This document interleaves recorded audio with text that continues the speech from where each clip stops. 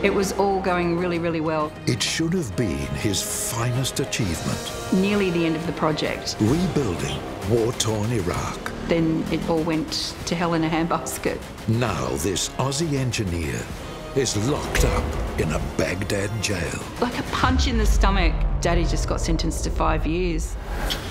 On 60 Minutes, This was a, a state-sponsored kidnapping. Robert Pether's family says he's being held hostage Horns in a game of chess. in a bitter business dispute. Are you suggesting that they knew he'd be arrested? So will Australia rescue him from hell? The nightmare is just getting worse. We need help. Brand new stories every week.